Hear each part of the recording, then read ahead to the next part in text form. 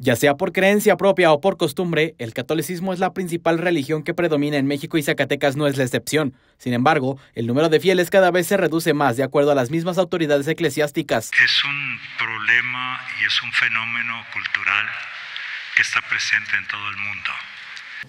Que como va disminuyendo el pensamiento religioso y va aumentando el, pensamiento que nosotros le llamamos secular, de acuerdo al censo del INEGI del 2020, el 92.3% de la población zacatecana fue católica, el 4.6% fue protestante o cristiano evangélico y el tercer lugar se ubicaron las personas sin religión con 2.4%. A este fenómeno se le suma que cada vez existen más personas que renuncian al catolicismo, acto que se le conoce como apostasía. De acuerdo a la RAE y al canon del Código Derecho Canónico de la Iglesia, la apostasía o el hecho de apostatar se refiere al hecho de renunciar o abandonar una religión, por lo que en la práctica del catolicismo se busca anular el sacramento del bautismo para romper cualquier lazo con la Iglesia Católica. Entre los censos del 2010 al 2020 hubo un aumento del 8% de personas católicas, mientras que el aumento de quienes profesaban alguna religión distinta a esta fue del 45% y la población que no profesa ninguna religión aumentó un 112%, lo cual revela que aunque el catolicismo sea el predominante, el aumento de no creyentes y otras religiones sigue en aumento. Que cada quien es libre de creer en,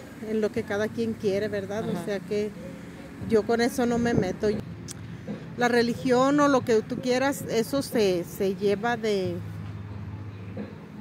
ahora sí que de los papás, ¿verdad? Antes de ser eh, buen religioso tienes que ser buen ser humano. Lo puedes encontrar en cualquier lado. A lo mejor encuentras paz en la iglesia y te presionas con agua bendita. No me gusta cómo manejan la iglesia. Aunque por costumbre muchos adoptaron la religión católica, todos aquellos que no la profesan no les interesa o no conocen el proceso. En 2019, un grupo de ciudadanas con el nombre de Apostasía Zacatecas convocaron a quienes deseaban renunciar a la Iglesia Católica a sumarse a su campaña. Sin embargo, desde entonces no han habido mayor información por parte de este grupo y las redes sociales de estos se encuentran abandonadas. Luis Ángel González, Mega Noticias.